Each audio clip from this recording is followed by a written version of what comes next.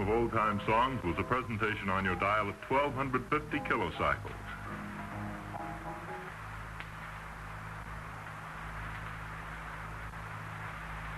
WHBI, Hoyt Brothers Incorporated, Newark, New Jersey.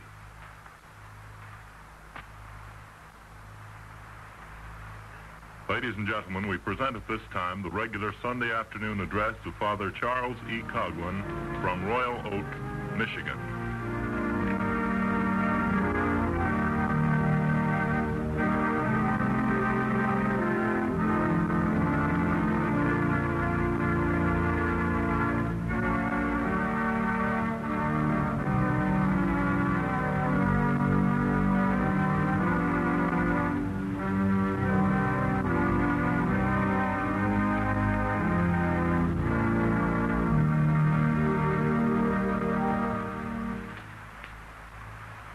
Ladies and gentlemen, as usual, Father Coughlin will bring you his regular Sunday afternoon address. In the first part of his address, he will comment upon President Roosevelt's message to Congress. The second part will be concerned with the Christian family.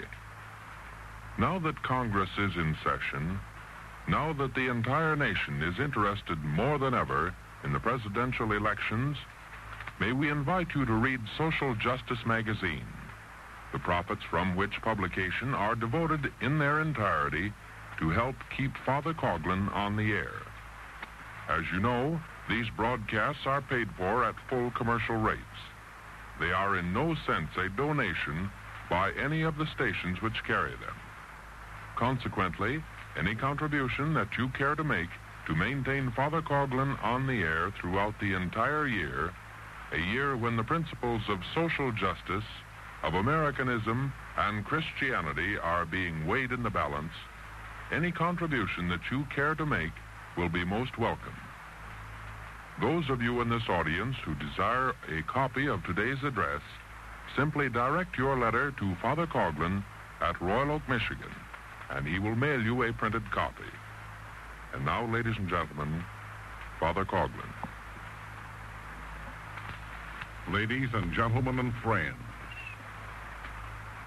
in his latest message to Congress on the State of the Union, President Roosevelt focused public attention upon many vital truths. Tempering his hitherto generic condemnation of foreign dictatorships, he ventured to specify the cause for their appearance in nations that formerly leaned to a democratic type of government. He said almost at the outset of his carefully couched speech, quotations, the social and economic forces which have been mismanaged abroad until they have resulted in revolution, dictatorship, and war are the same as those which we here are struggling to adjust peacefully at home. You are well aware, continues the President, that dictatorships and the philosophy of force which justifies and accompanies dictatorships have originated in almost every case in the necessity for drastic action to improve internal conditions where democratic action, for one reason or another, has failed to respond to modern needs and modern demands, unquote. Might these unambiguous words permit us to conclude that the continued mismanagement of domestic affairs in the United States will produce results in our homeland similar to those which have appeared abroad. During our lifetime, Italy elected to follow the pattern of fascism. The Kerensky democracy of Russia melted into the crimson regime of Lenin and Stalin. Hindenburg's government degenerated into, into Hitler's monopolization of political power. Portugal and Spain abandoned social democracy. Austria, Czechoslovakia, and Poland ceased to function under a duly elected representative government. So did England and France since the outbreak of the war. Now, in each and other instances, financial and economic necessity required drastic action to improve internal conditions when democratic action, for one reason or another, failed to respond to modern needs and modern demands. President Roosevelt's words. It is regrettable that, having evolved political liberty through the many sacrifices of the past several hundred years, all these nations found it compatible to surrender this benediction to secure bread, clothing, and shelter, the bare necessaries of life. Probably then, this is the opportune time to express a few pertinent thoughts on the subject of democracy. The democracy that failed in foreign lands, to the end that we who are devoted to its doctrine of liberty and of representative government may take counsel with ourselves how to preserve it in America. Correctly speaking, ours is a republican form of government composed of three separate, independent branches. We Americans are privileged by a majority vote to elect representatives of the people to an independent Congress whose function it is to make laws in harmony with an established Constitution.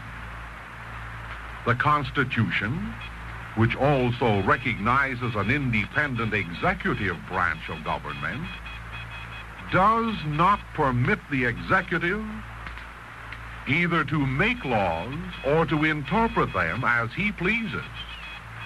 It limits him, together with his secretaries and assistants, to execute only those laws passed by Congress, and in the case of a substantial dispute as to the constitutionality of the laws, it obliges him to abandon them either entirely or in part when the Supreme Court, the third independent branch of government, issues a decision. The United States of America, my friends, is neither a dictatorship nor a democracy in the full sense of the word. At most, it is a limited democracy, which I again designate as a republican form of government. Now observe that each of the three independent branches of government although cooperating with the other two, is limited by specific powers and prerogatives. That the people themselves are limited by the Constitution, insofar as a mere majority cannot alter that basic document. And finally, that the content of the Constitution is limited, roundly speaking, to the will and decision of two-thirds, not one-half, of the people. In its constituted form, our democracy depends for its operations directly upon representatives and indirectly upon the people. We are subject in our choice of representatives to our common understanding and appreciation of the questions of the day, to the policies proposed, and to the agencies such as the press and the radio and the platform, which expound them and thereby influence our thoughts and habits. Thus, in its final analysis, our government is no better than the people themselves, despite the Constitution which is its political bedrock. If, therefore, as Mr. Roosevelt remarked, dictatorships have originated abroad in almost every case, through the necessity for drastic action to improve internal conditions where democratic action fails, it is possibly true that the retention of democracy would have proved to be a greater menace than the adoption of dictatorship because both the people abroad who are privileged to vote and the representatives whom they elected were no longer capable of achieving the objectives of peace, prosperity, and national happiness.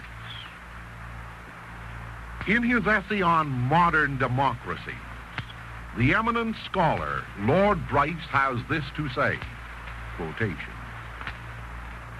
in the form which it has almost everywhere taken, that of government by a representative assembly, democracy shows signs of decay. For the reputation and moral authority of elected legislatures have been declining in almost every country. In some, they are deemed to have shown themselves unequal to their tasks. In others, to have yielded to temptations. In others, to be too subservient to party. While in all, they have lost some part of the respect and social deference formerly accorded to them. According to this same scholar's version, incompetent representatives and crass politicians undermine the foundations of democracy. They were leaders who were no better than the people themselves. And speaking about this leadership, Lord Bryce adds, quotations, it is clear that nowhere does enough of that which is best in the character and talent of the nation find its way into these assemblies. In this respect, the anticipations of 80 years ago have not been realized. Now, while we do not quarrel with Lord Bryce's observations, may we add the following thoughts. The political problems of leadership and democracy are inextricably tied up with the deeper and more complex problems of intellectuality and spirituality. An uninformed populace will elect an uninformed, rabble-rousing Congress. A godless people under a democratic constitution will elect godless representatives. A materialistic-minded people will choose a materialistic-minded leader. A democratic nation gets the kind of government that it deserves. It becomes the beneficiary or victim of its own virtues or vices. Under a democracy, then, there is that constant and prevalent danger when religion is divorced from our social activities that everything noble, supernatural, and exceptional will be dragged down to the gutter of mediocrity.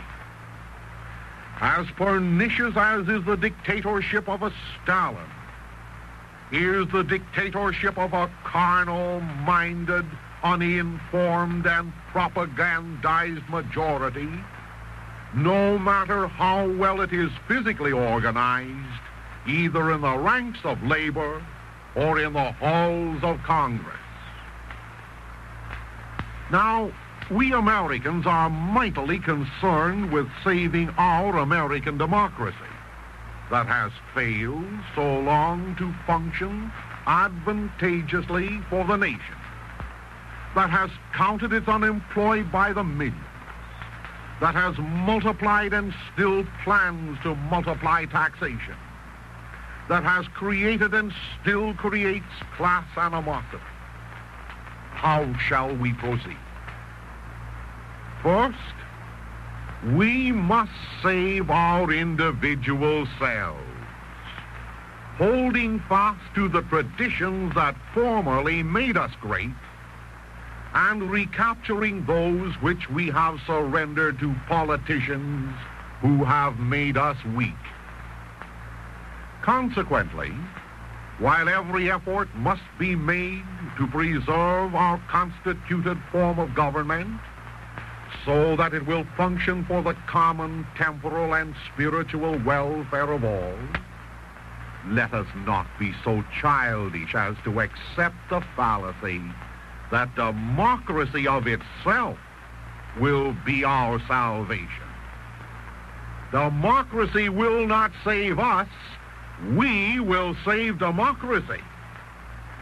Under God, a virtuous people and not their form of government is the key which unlocks the treasure room where liberty, prosperity, peace, and happiness abide. The history of the birth and decay of democracy should supply us, the lovers of freedom, with a plenitude of food for thought. These years taught us how unsubstantial was the dream of the French revolutionists who preached their materialistic liberty, equality, and fraternity. It was a dream dissipated by the death-dealing cannons on the battlefields of Belgium and France. The disciples of Rousseau, Kosciuszko, Franklin, Byron, Mazzini, and Bjornson, all religious indifferentists, who preached the doctrines of social democracy, were routed. Where was their boasted flag of liberty? Oh, find it unfurled in the mud-strewn acres of France, flaunted in the hovels of poverty, paraded in the vanguard of the hungry unemployed. And what equality did they achieve? Equality with the rats and vermin in the corpse-laden trenches of death. And what of their fraternity? It was the same kind of fraternity enjoyed by the galley slaves of old. A fraternity of debt. A fraternity of indigence.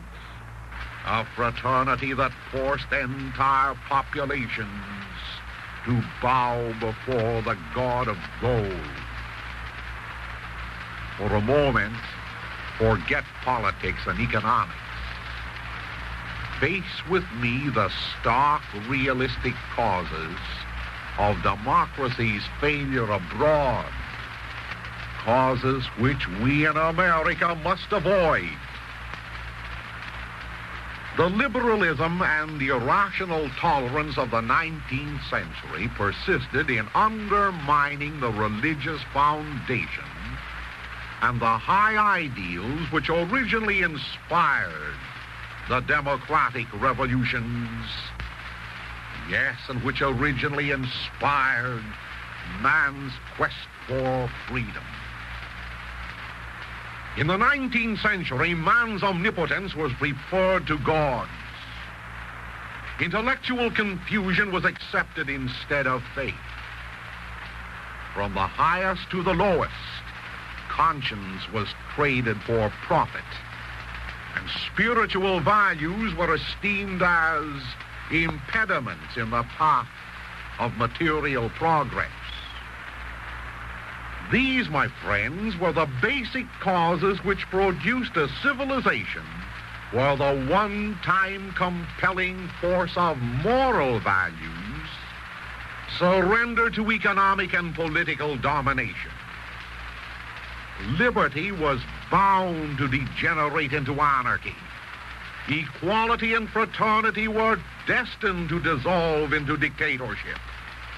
At first, the dictatorship of economic and financial imperialists. Then, that of a Lenin who at one fell swoop crystallized the godlessness of his age into the doctrines of Bolshevism. And later on, into the dictatorship of a Hitler, who amalgamated the errors of political partyism and state supremacy into his National Socialism. Oh, a godly people instructed by a virtuous pulpit, informed by an honest, fearless press, and schooled in institutions which, in the name of tolerance, did not ostracize the divinity from the curriculum, that kind of people will be blessed with godly leaders.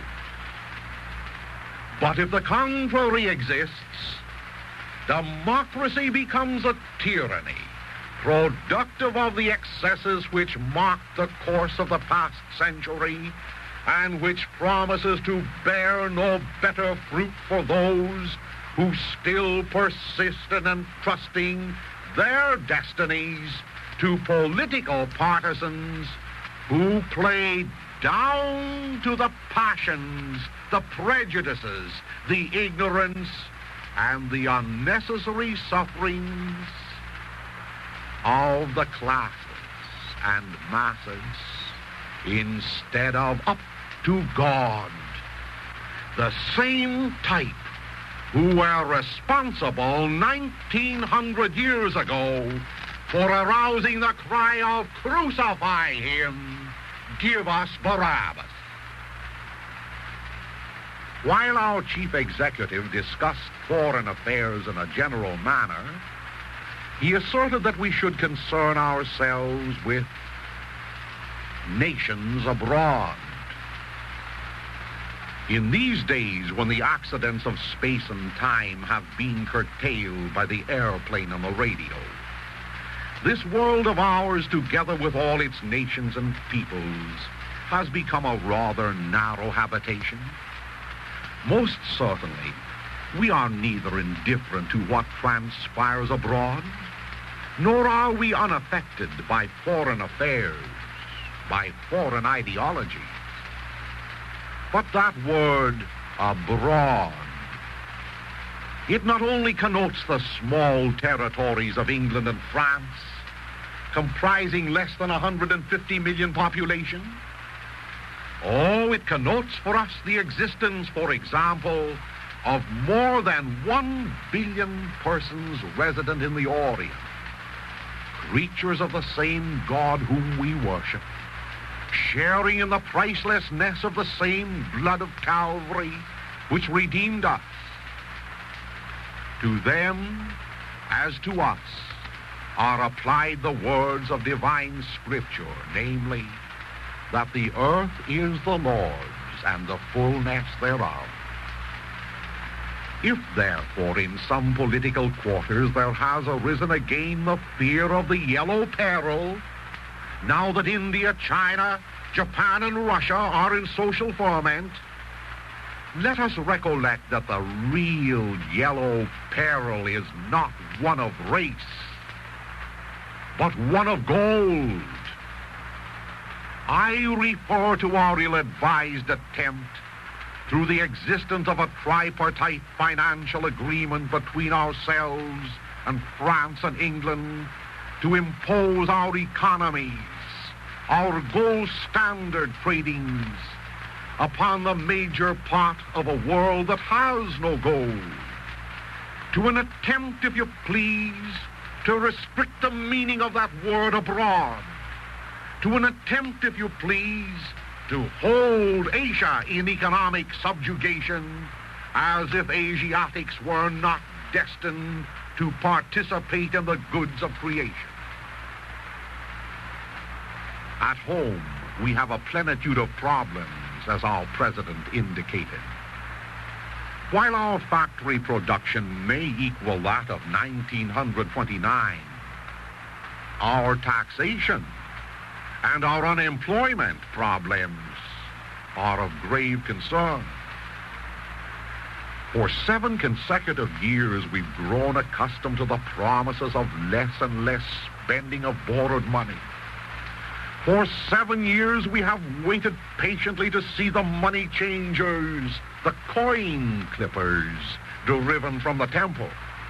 For seven years we have hoped to witness the sunrise of economic liberty, without which political liberty is a mockery. Therefore, we congratulate our president for having said, quotations, for many years after the World War, blind economic selfishness in most countries, including our own, resulted in a destructive minefield of trade restrictions which blocked the channels of commerce amongst nations. This policy was one of the contributing causes of existing wars.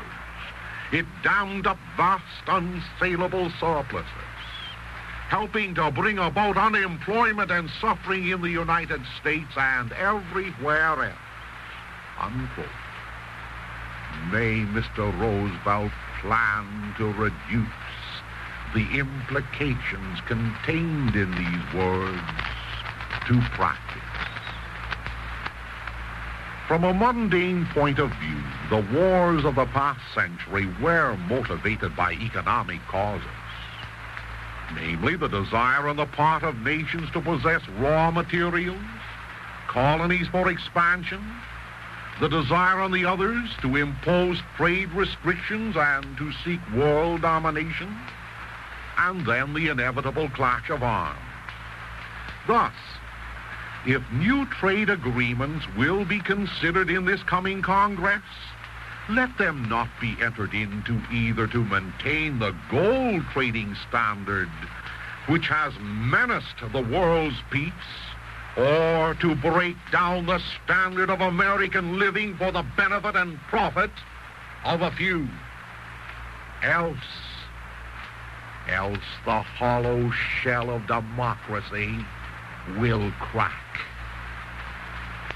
Again, we congratulate His Excellency on that portion of his message to Congress in which he reminded us of the admonition enunciated by George Washington relative to entangling foreign alliances. Although we vividly remember the attempts on the part of this administration to involve us in the World Court, although we presently smart economically as a result of the financial agreements entered with Britain and France by this government, it is to be hoped that his implied pledge to abide by the course originally charted by George Washington will be remarkable in years to come by its fulfillment. We are not rabid isolationists. Yet we are Americans conscious of the fact that our ancestors fled Europe with its religious bigotry, its perennial poverty, and its old age wars to establish the foundations of a new nation from which these aberrations would be absent. My friends, in these days when we are witnessing the decay of democracy, which word in our American vocabulary is related to political liberty, may I reiterate how necessary it is for the people of this nation to recognize that no liberty which our ancestors won in the past is retainable unless there is a definite acceptance of the Christian truths without which freedom is impossible. Let not our spirit of democracy, which respects the rights of minorities, impel us to disrespect the rights of Almighty God, who is the most potent, the most necessary, the most vital minority in our complex civilization. Without him, we can accomplish nothing. With him, all things are possible. Although we have grown accustomed to weigh presidential messages to Congress in the same scales in which we appraise party platforms and political promises, it is to be hoped that we who are struggling almost alone to save the last vestiges of limited democracy will resolve to place patriotism above partyism, Christian morals above pagan economics, and religious principles above political expediency to the end that we will let shine the lamp of Christ's truth to a world that has been stumbling in the rocky ravines of darkness. Time alone will tell. The advertised pronouncements of men will vanish like the morning mist. Their deeds their deeds alone will live after them. And by these deeds, future generations, yea, their own contemporaries, will appraise them. Tomorrow is the anniversary of Andrew Jackson, the seventh President of the United States. American tradition long since has revered him as one of our greatest Democrats. And the Democratic Party of which Mr. Roosevelt is the chieftain, long since has claimed him as one of its outstanding apostles. To honor this indomitable leader, a multitude of dinners is scheduled for tomorrow evening, at which will attend the followers of the Democratic Party. Now,